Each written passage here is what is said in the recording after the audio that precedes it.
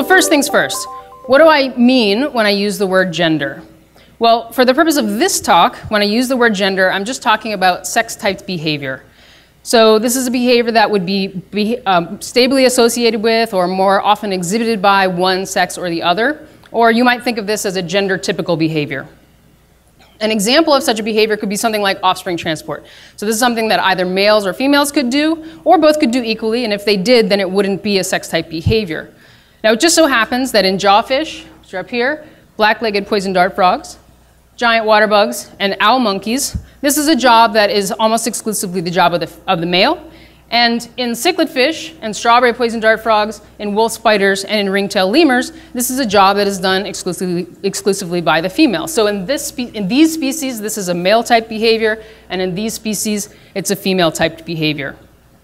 So those are the kinds of things that I'm going to be talking about today. One of the things that I'm not going to be talking about today is gender identity. Now, I recognize that this is a really big important part of human gender.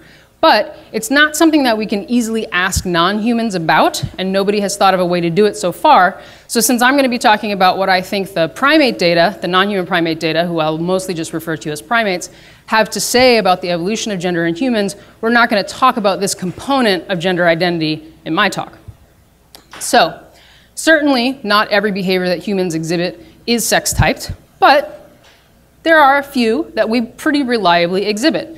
So Across many societies, it's common, more common for girls to play with dolls than it is for boys to play with dolls. Across societies, if little kids get in fistfights, those little kids are more likely to be boys than they are to be girls. In our society, the kids who take dance lessons are more likely to be girls than they are to be boys. And the kids who take football lessons are more likely to be boys. Do they call those lessons? I didn't take those lessons are more likely to be boys than they are to be girls. And these gender differences persist through adulthood, such as when adults go to Levi's Stadium to engage in athletic activity, women do synchronized dancing, and men practice football. So, as a gender nonconforming person, I noticed from an early age that these gender norms are reproduced in society with reasonably high levels of fidelity. And I always wondered, what is up with that? A more academic way of answer, asking that question is what causes the, the, development of gender typical behavior? So now is the time to get your phone back out, go to meet.ps forward slash science, and tell me what you think. And if this doesn't work, we'll just raise hands. So I imagine that this is a question that almost everybody in this audience has engaged with at some point in life. And the possible answers range from it being A, the expression of innate gendered tendencies on one hand, to E, being overtly socialized by people who are external to the individual. Or maybe it's C, equal parts innate and socialized. Or maybe you think it's B, mostly innate but partly socialized. Or maybe you think it's D, mostly socialized but partly innate. Now I have to wait for you to answer. All right, so what did you guys decide? Okay, so in this crowd, people lean towards gender being mostly socialized but partly innate. I'm not terribly surprised that that is the way that this audience leans with respect to that question because I'm guessing many people in this audience have felt constrained by gender norms before. Um, I certainly have. Almost nobody thinks that it is entirely socialized and nobody thinks that it is entirely innate. These hypotheses are all reasonable hypotheses, so let's talk briefly about the human data, because not surprisingly, the mechanisms of human gender development have been subject to a lot of, of, of, of a lot of research. So people who are interested in understanding the sort of innate tendencies uh, that generate gendered behavior, um, they focus on what some people would call biological factors, which usually are hormones uh, expressed in the per prenatal, perinatal, and postnatal periods.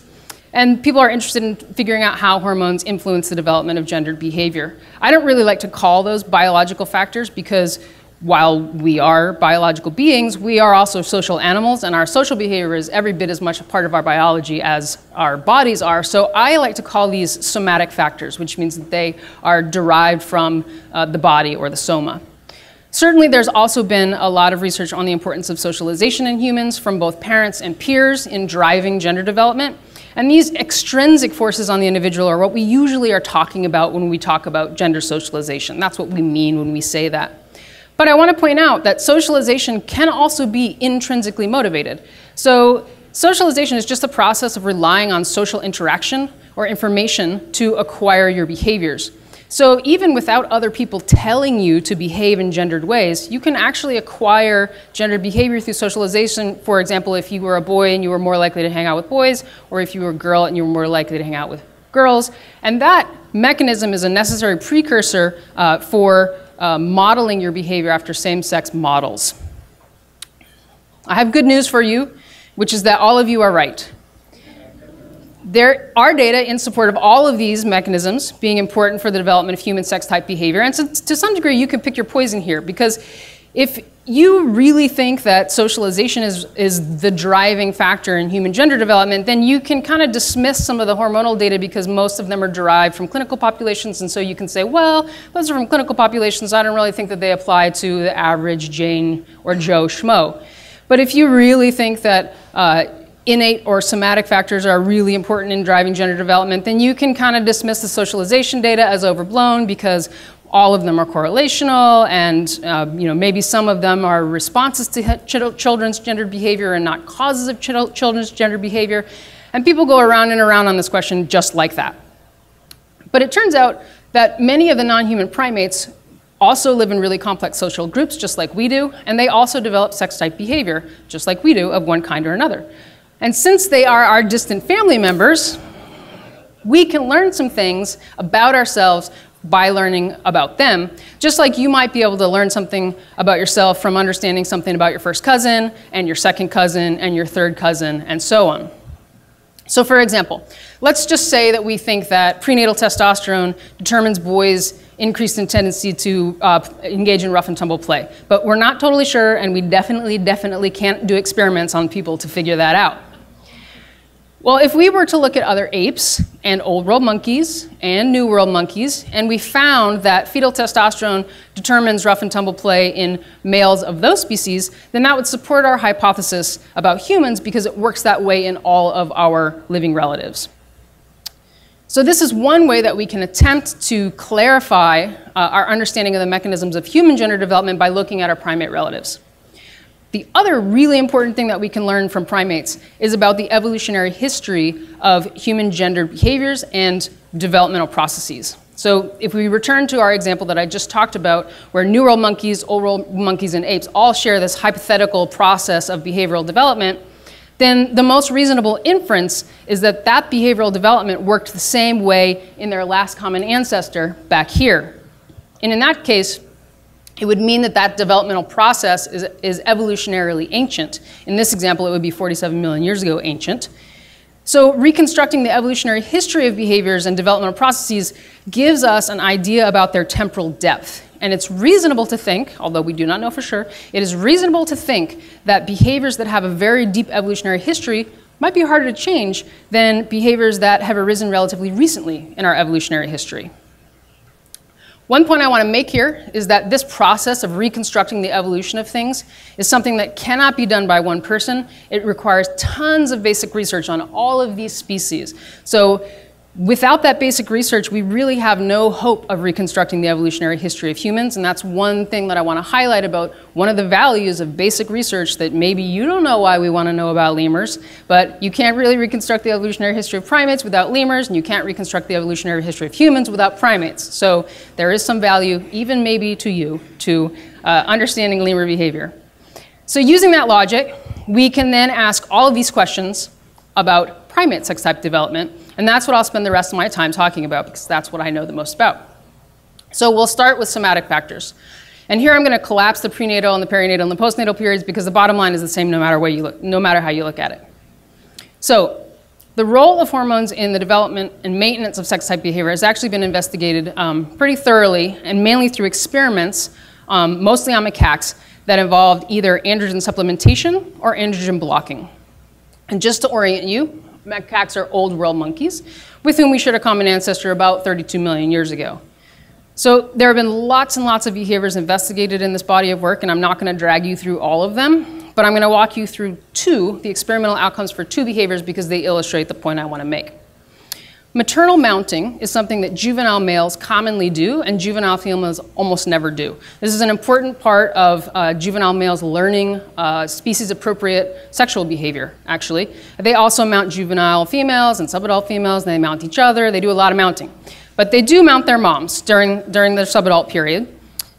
Males also engage in more rough and tumble play than females typically do. Um, in many species, including macaques, these are langurs, but I just like this picture better. And we know that if you neuter infant male macaques right after they're born, then their uh, maternal mounting behavior and their rough and tumble play behavior develops completely normally without any other, so that means that it's not reliant on the postnatal testosterone surge, it's not relating, reliant on any other postnatal hormones, which they don't really have any after the postnatal testosterone surge anyway. So all of this suggests that prenatal testosterone is the thing that's driving male typical juvenile maternal mounting and rough play behavior. This has been experimentally investigated by then exposing female fetuses to higher than normal levels of testosterone while they are in utero. And you can give them either low doses of testosterone or high doses of testosterone, either early or late in gestation. Then you see what that does to the development of later behavior during the juvenile period when those animals have grown up. So for these two behaviors, what happens is this. If you give female fetuses low doses of testosterone early in gestation, nothing happens. They don't mount their moms, and they don't show any increases in rough and tumble play. So these behaviors are unaffected by low doses of testosterone early in gestation. But if you give them high doses of testosterone early in gestation, then they mount their males as juveniles just as much as unmanipulated males do. So that behavior is completely masculinized by high doses of testosterone early in gestation. But they still don't have elevated rates of rough and tumble play. So that behavior is still unaffected. If you give female fetuses low doses of testosterone late in gestation, what happens is that their mounting behavior is completely unaffected. They're indistinguishable from unmanipulated females. But their rough and tumble play is partly masculinized. So they play at, uh, they, they engage in rough and tumble play at levels intermediate between unmanipulated females and unmanipulated males. If you bump that up and increase that to high doses of testosterone late in gestation, what happens is nothing to their mounting behavior, completely unaffected. But their rough and tumble play behavior then is completely masculinized, and they play rough and tumble play at, at rates uh, indistinguishable from unmanipulated males. So, maternal mounting behavior is sensitive only to high doses of testosterone and only early in gestation. Rough play is sensitive to any level of testosterone, but only late in gestation. So this pattern of results shows two things. It shows that individual behaviors have their own sensitive periods and their own dose sensitivities that are different from those of other behaviors. So the answer to whether hormones are important in driving the development of sex-type behavior in primates is certainly yes, but it's complicated. It's not a straightforward process by which you add androgens and you get butch monkeys, or you add estrogens and you get fem monkeys. It's not, it's not simple like that. It's not simple at all, actually. It is a really complex developmental system in which different behaviors are sensitive to different dosages of different hormones at different times in development. And what I think that means is that you have a system with numerous opportunities for the production of diverse outcomes. And in fact, I think that the complexity of the developmental system all but guarantees diverse outcomes, and really, diversity should be an expectation of our complex development and not a surprise. All right, so what about socialization? This is really my favorite stuff because, of course, we expect somatic factors to be important in the development of behavior for monkeys. They're animals. But as social animals, socialization might be important for them too. So the experimental for data from macaques makes it really clear that social experience is important for the de development of later behavior because people have manipulated the early rearing environments of macaques fairly extremely and weird things happen. But what I think is the most interesting socialization data from captive studies comes from some sort of accidental experiments that have been done, uh, including on aye-ayes and chimps. So we know that, we've known for a long time that uh, the development of male mating competence for macaques depends on species-appropriate social experience. But it turns out that this is also true for chimpanzees, and it's also true for the aye-ayes, which are a solitarily foraging lemur, which hardly spend any time with other animals in the wild. So this is a species where we'd expect most of their behaviors not really to rely on socialization because they don't really see other animals very much. But still, it turns out from a couple of uh, situations in which animals had to be removed from their moms for some reason, Um, and, in, and even in situations where those caretakers tried really hard to replicate as closely as possible species appropriate rearing, these males still did not develop uh, species appropriate mating competence. Basically, what happens is that when they grow up in their adolescence, they're really interested in mating when they're presented with a fertile female, but they don't know where things go. So you can teach them where things go with peanuts or whatever treat that they like, and that's what people have done. But what I think is really compelling about this example in particular is that if there is one and only one behavior that you expect natural selection to program into animals, and for it not to be able to be messed up by social experience, it would be the mechanics of mating. But apparently, this is not so. And apparently, it's not so even for the lemurs. So the development of male mating competence depends on species-appropriate social experience in at least one lemur, as well as in old world monkeys and apes. And what I think this suggests is that social learning is probably an important determinant of behavioral development generally across all primates, and probably for most behaviors. And that this general phenomenon of social learning is very evolutionarily ancient. All right, so Captive studies can tell us with absolute certainty that somatic and social factors are both important for normal behavioral development, but what they can't do is tell us how those things are actually working in normal behavioral development. Because the whole point of captive experimentation is to poke the system and see what changes, which is great, but it automatically means that you're not studying the system as it naturally occurs. So this is where I think the strength of observational research comes in. And as non-experimentalists, we can't say anything with as much certainty as experimentalists can, but we know that what we find about our animals is relevant to the natural functioning of their populations in complex ecological and social environments where they evolved. So we can explore the hormonal correlates of behavior in wild populations, which we do, mostly through the use of uh, biological materials that our animals leave behind, such as poop, P2, but mostly poop, we collect this poop, we process the poop, we analyze the poop for various concentrations of hormones in the lab, lots and lots of poop. And as an example of how those data look, I'll share with you some of my work with my colleague Tigo Meira um, on ringtail lemurs in southwest Madagascar for my dissertation when I was uh, funded by the Leakey Foundation.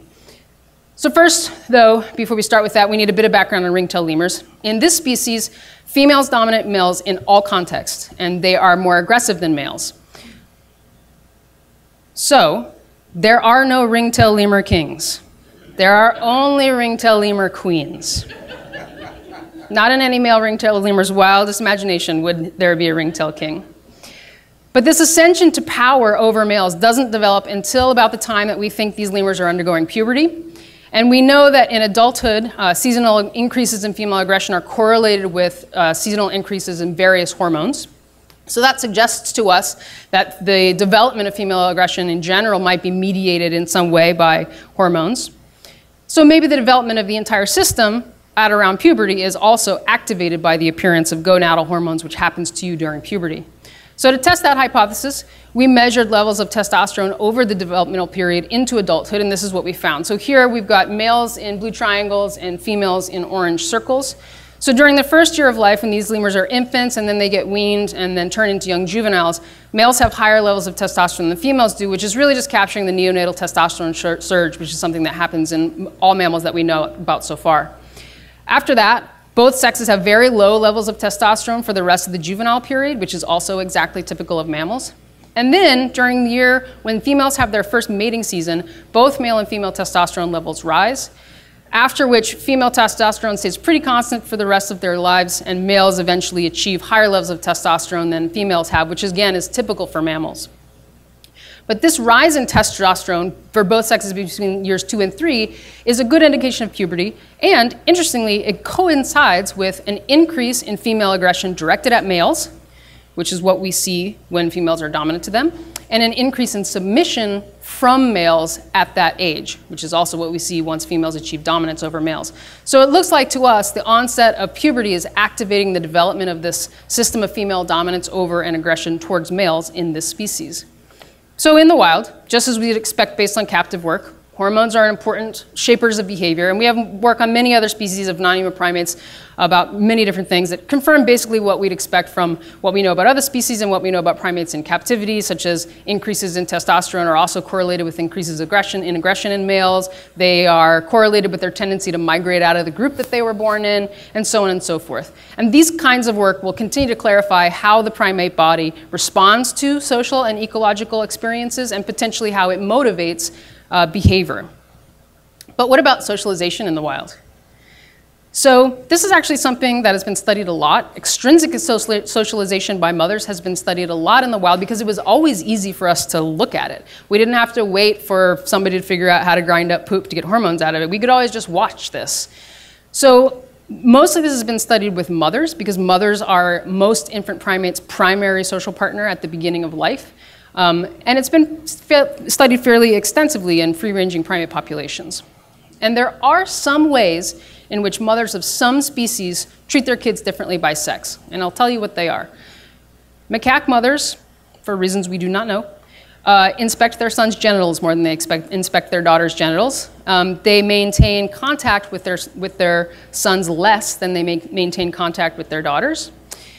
Both macaque and chimpanzee mothers will socialize with partners that are probably beneficial to their sons, but that take them out of their own comfort zone of their own normal social grouping.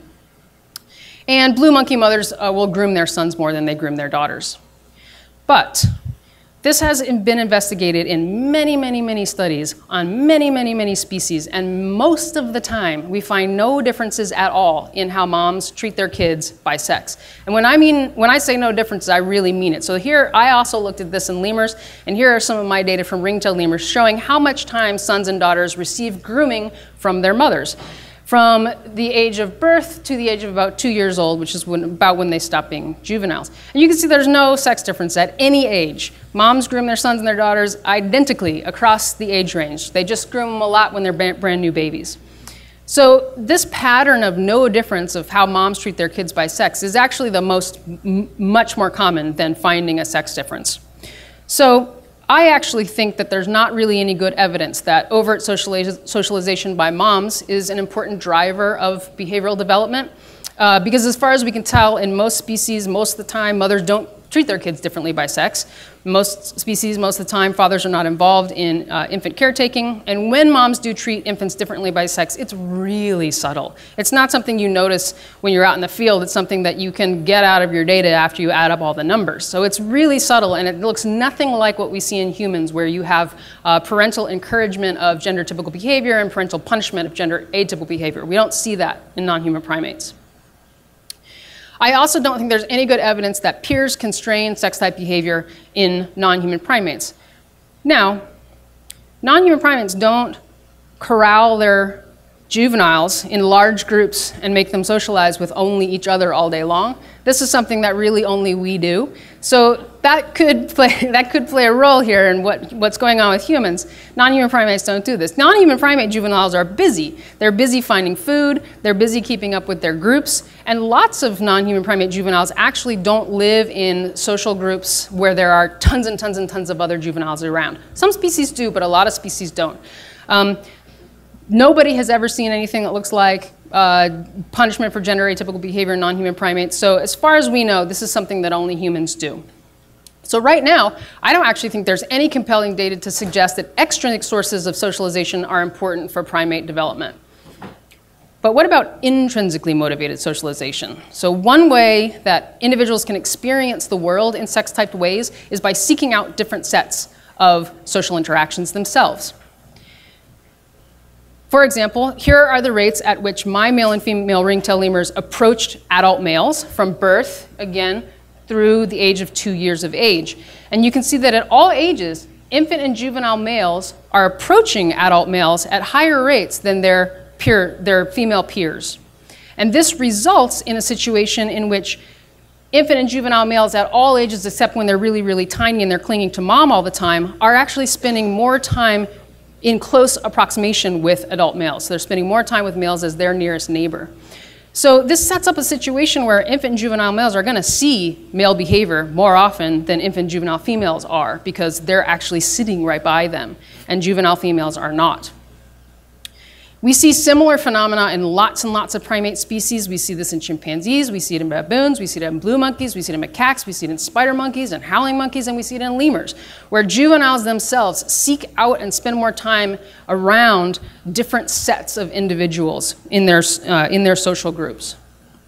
So this is a common phenomenon among non-human primates. And if you think about it, it's a necessary precursor to social learning from social partners, those social partners through behavioral modeling.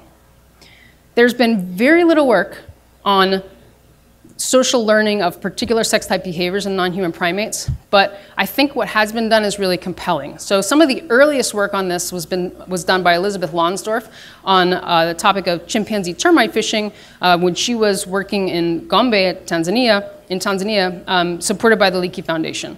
So this is a termite mound. Here is a mom and her juvenile chimp on the termite mound, and that's Elizabeth Lonsdorf in the background filming. Now, termite fishing is a really complicated behavior, and it starts out with making a tool out of a thin stick or a stiff blade of grass, and then you have to pick open a hole in a termite mound, and then you have to carefully insert the tool into the termite mound, and then you have to wait for the termite soldiers to bite the stick or whatever it is that is intruding their, their turf, and then you have to take it out carefully without knocking all the termite soldiers out, and then you can eat it, eat all the termite soldiers, which are big and juicy. So this takes this takes cognitive skill, it takes patience, which juveniles don't have that much of, it takes a steady hand, and it takes young chimpanzees about five years to learn this behavior with any reasonable proficiency. This is behavior that adult females spend much more time doing than adult males, and they are also a lot better at it. And it turns out that infant females learn this behavior faster than infant males do. Also, infant female infant females learn their mother's tool preferences. So some moms like long sticks and some long, uh, moms like short sticks. And if my mom likes to termite fish with a long stick, I will learn to fish with a long stick also.